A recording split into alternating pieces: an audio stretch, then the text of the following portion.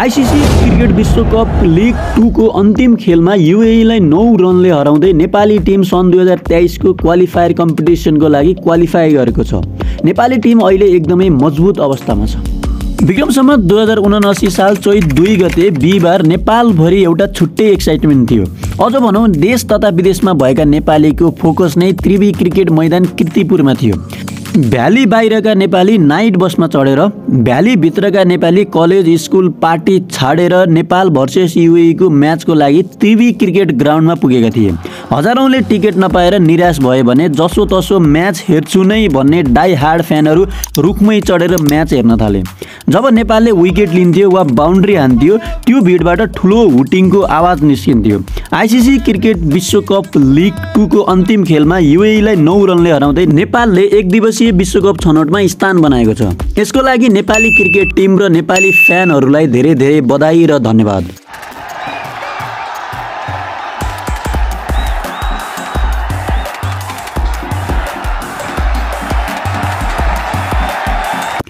अब नेपालको target ICC ODI cricket world cup हुनेछ।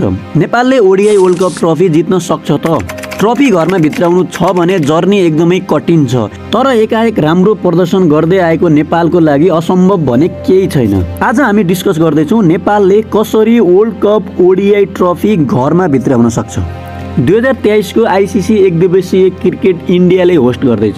जुन अक्टोबर र नोभेम्बर महिनामा हुँदैछ। टोटल दसवटा टिमले उक्त वर्ल्ड कपमा कम्पिट गर्दैछन्। जसमा आठवटा टिमको कन्फर्म भइसकेको छ भने अब दुईवटा टिम डिसाइड गर्न बाँकी नै छ। India Afghanistan Australia Bangladesh England New Zealand Pakistan र वेस्ट इन्डिज क्वालिफाई भइसकेका छन्।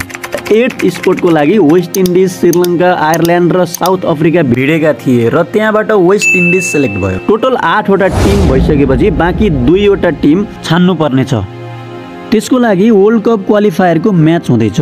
जिम्बावेमा हुने वर्ल्ड कप क्वालिफायरमा आइसिसी सुपर लिगका पुछारका पाँच टिम लिग टूको शीर्ष तिन टिम र प्लेअफ क्वालिफायरबाट आउने शीर्ष दुई टिम गरी दस टिमले प्रतिस्पर्धा गर्नेछन्। लिग टूबाट स्कटल्यान्ड ओमन र नेपालले स्थान पक्का गरिसके। सुपर लिगबाट जिम्बावे र नेदरल्यान्ड्सले खेल्ने पक्का भइसकेको छ भने तिन टिमको टुङ्गो लाग्न बाँकी छ। अब लिग टूको पुछारका चार टिम नामिबिया अमेरिका युएई र पिएनजी सहित च्यालेन्ज लिगको शीर्ष दुई टिम क्यानाडा र जर्सी गरी छ टिमको प्लेअफ क्वालिफायर नामिबियामा यसै मार्चको अन्तिममा सुरु हुनेछ। जसबाट शीर्ष दुई टोली जिम्बावेमा हुने वर्ल्ड कप क्वालिफायरमा स्थान बनाउनेछन्। उक्त म्याच जिम्बावेले होस्ट गर्दैछ र त्यो ग्रुपमा नेपाल छ। जिम्बावे नेदरल्यान्ड स्कटल्यान्ड ओमन र नेपाल रहेको क्वालिफायर म्याचमा नेपालले टप कन्ट्रीसँग खेल्नुपर्छ। त्यसपछि मात्र नेपालको वर्ल्ड कप जर्नी सुरु हुन्छ। नेपालले क्वालिफायर म्याचमा छनौट हुनको लागि रिसेन्ट बाह्रवटा म्याचमा एघारवटा म्याच जितेको थियो। एउटा सानो इतिहास रचिसकेको छ। तर अब बिगेस्ट हिस्ट्री क्रिएट गर्न वर्ल्ड कपको जर्नी एकदमै कठिन छ। तर असम्भव भने छैन। छ्यालिस दिनमा टोटल अडचालिस म्याच खेलिँदैछ। इन्डियामा हुने म्याचको लागि ठाउँ अझै डिसाइड गर्न बाँकी नै छ। नर्मल्ली आइसिसीले वर्ल्ड कप हुनुभन्दा एक वर्ष अगाडि नै वर्ल्ड कप सेड्युल अनाउन्स गर्छ। तर यो पालि इन्डियामा म्याच हुँदैछ अनि पाकिस्तान इन्डिया आएर खेल्दैछ। त्यसको लागि पाकिस्तानी टिमको भिजा क्लियरेन्स अनि ट्याक्स रिलेटेड इस्युज भएका कारण ढिलो भएको बताइएको छ। नेपालको लागि आफ्नो ट्यालेन्ट र डेडिकेसन सहित प्रस्तुत हुने यो राम्रो अवसर हो। पछिल्लो एक महिनामा नेपाली क्रिकेट टिमको प्रस्तुति टोटल्ली फिरिएको पाइन्छ। ब्याटिङ बलिङ फिल्डिङ पर्फर्मेन्समा धेरै नै सुधार देख्न पाइयो। लिग टू सिरिजको क्रममा नेपालले टोटल पाँचजना प्रशिक्षकको परीक्षण गरेको थियो। कोरोना महामारीले गर्दा म्याच पनि टाइमली हुन पाएन। तिनजना क्याप्टेन फेरिए। क्याप्टेन सन्दीप लामिछाने रेप केसमा जेल पुगेका थिए र नेपालले जित्न बिर्सिसकेको थियो। फागुन दुई गते अघिसम्म नेपालले लिग टूमा पछिल्लो दस मध्ये दुई खेल मात्र जितेको थियो। नेपाल लगभग जित बिन नै थियो। मनोज प्रभाकरले चार महिनामै राजीनामा दिएपछि तेइस माघमा नेपाली टिमको प्रशिक्षण जिम्मेवारी पाउनु दस दिन अघिदेखि नै मोन्टे देसाईले नेपालको प्रशिक्षण सम्हालेका थिए। जम्माजम्मी दुई साताको तयारीपछि नेपाल बत्तिस दिनमा बाह्र एक दिवसीय अन्तर्राष्ट्रिय क्रिकेट खेल्ने गरी मैदानमा फर्कियो। तीमध्ये बाह्र खेल खेल्दा नेपालले एघार जित निकाल्दै अविश्वसनीय रूपमा एक दिवसीय मान्यता जोगाउन सक्यो।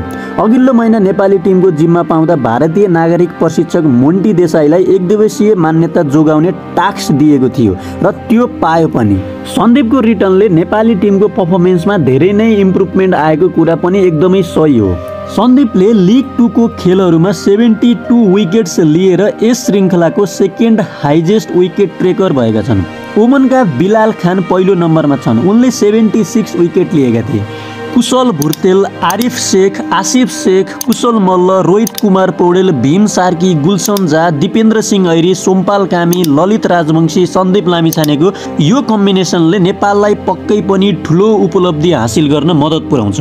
फरक फरक खेलमा फरक फरक खेलाडीको निर्णायक प्रदर्शनबाट नेपालले लगातार जित निकालिरहेको छ। कुशल भुर्तेल र आसिफ शेखले फरक खेलमा शतकीय पारी खेलेका छन्। रोहित कुमार पौडेल कुशल मल्ल ज्ञानेन्द्र मल्ल दिपेन्द्र सिंह ऐरीले ब्याटिङबाट निर्णायक योगदान गरेका छन्। बलिङमा पनि सन्दीपसँगै करण केसी दिपेन्द्र कुशल मल्ल ललित नारायण राजवंशीको ठोस भूमिका छ। धेरैलाई असम्भव जस्तो लाग्ने यो जितलाई सम्भवमा परिणत गर्न नेपाली टोली सफल भएको छ। जित्न बिर्सेको नेपालको प्रदर्शन तिन सय साठी डिग्रीमा परिवर्तन भएको छ। यही रफ्तारमा चल्ने हो भने वर्ल्ड कपको ट्रफी अवश्य घर भित्रिन्छ। प्रशिक्षक मोन्टी देसाईको पनि यसमा ठुलो भूमिका छ। प्रशिक्षकको जिम्मेवारी सम्हालेको धेरै वर्ष अघिदेखि मोन्टी नेपाली क्रिकेटसँग परिचित छन्। उनले ह्याप्पी ड्रेसिङ रुमको स्ट्राटेजी लगाएर टिमको वातावरण खेलाडीलाई फ्रिडम अनि मोटिभेसन गर्ने गरेको क्याप्टेन रोहितले बताएका छन्। टिममा यस्तो वातावरण बनेको छ कि सबैजनाले चुनौती लिएर खेल्न सक्ने क्षमता बढाएका छन्। नेपाललाई सारा संसार चकित पार्ने यो नौलो अवसर हो।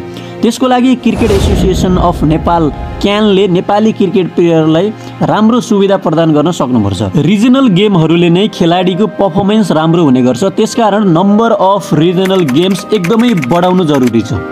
क्रिकेट एसोसिएसन अफ नेपालमा वर्षौँदेखि आएको आन्तरिक तनावका कारण राम्रोसँग नीति नियम कार्यान्वयन हुन पाएका छैनन्।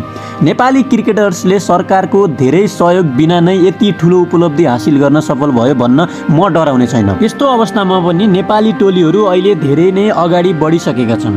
राम्रो क्रिकेट रङ्गशाला खेलकुदमा पूर्ण लगानी आन्तरिक कल बिनाको क्यान यदि हुने हो भने नेपाली क्रिकेट अहिले कहाँ पुगिसक्थ्यो?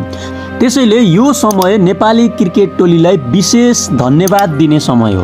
यदि हामीलाई वर्ल्ड कप ट्रफी नेपाल भित्रिएको हेर्नु छ भने यो तिन महिनाको अन्तरालमा प्र्याक्टिस र डेडिकेसन एकदमै आवश्यक देखिन्छ। बुबाको भूमिका खेलेर सरकारले नेपाली क्रिकेट सेक्टरमा सिरियसली ध्यान दिनुपर्ने हुन्छ। वर्ल्ड कप ट्रफी भित्रिनु भनेको जिम्बावे नेदरल्यान्ड स्कटल्यान्ड ओमनलाई मात्र हराउनु होइन। India England New Zealand Pakistan Australia Bangladesh South Africa Sri Lanka जस्ता विश्वका टप टप टिमलाई हराउनुपर्छ। मुख्य कुरा खेलाडीको सेल्फ मोटिभेसन जरुरी छ र सरकारको गम्भीरतापूर्वक ध्यानकर्षण। नेपालको क्रिकेट ग्राउन्डमा प्र्याक्टिस गरेर विश्वको त्यति ठुलो ग्राउन्डमा प्र्याक्टिस गर्ने खेलाडीहरूलाई हराउनु धेरै नै ठुलो कुरा हो। नेपाली क्रिकेट टोलीलाई नेपाली दर्शकको भरपुर साथ सधैँभरि रहिरहनेछ। अब पालो नेपाल सरकार र क्यानले आफ्नो भूमिका निभाउने आएको छ। त्यसकारण नेपाली क्रिकेट टोलीलाई वर्ल्ड कप ट्रफीको जर्नीको लागि धेरै धेरै शुभकामना। र साथीहरू तपाईँलाई भिडियो कस्तो लाग्यो?